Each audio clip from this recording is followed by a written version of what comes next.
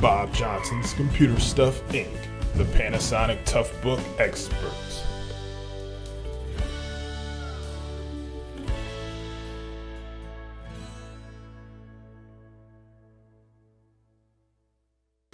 Hello, everyone, and welcome back to another episode of Bob Johnson's Computer Stuff Inc. We are the Panasonic Toughbook experts. I am Solomon, your host, and today we're going to show you how to reset the hard drive on your Panasonic Toughbook CF31. The Panasonic Toughbook CF31 is Panasonic's flagship fully rugged computer and currently holds the title of the most rugged computer in the world. The Panasonic Toughbook CF31 model number that we are going to be using is located right here on the right side of your screen. So, we're going to get right into this step-by-step -step tutorial of showing you how to reset your hard drive. This process will clear everything off your hard drive and pretty much put your Toughbook back into factory reset.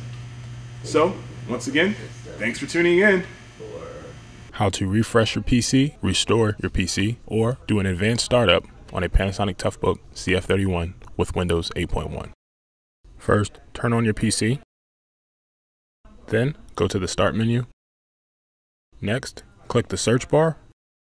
Then type in Recovery Options. Here are your options refresh your PC, remove everything, or advanced startup. Select whichever applies for you. We are not going to remove everything or refresh our PC in this tutorial. This is useful for someone who needs to improve the performance of their PC, would like to install a new operating system. Thanks for tuning in here at Bob Johnson's Computer Stuff Inc. That concludes our tutorial for today. If this video was helpful for you at all, don't forget to subscribe to our channel, as well as hit that like button labeled with the thumbs up at the bottom of the video. Also, don't forget to visit bobjohnson.com for shipment and pricing details on your next Panasonic Toughbook purchase. This is Solly signing out. Until next time.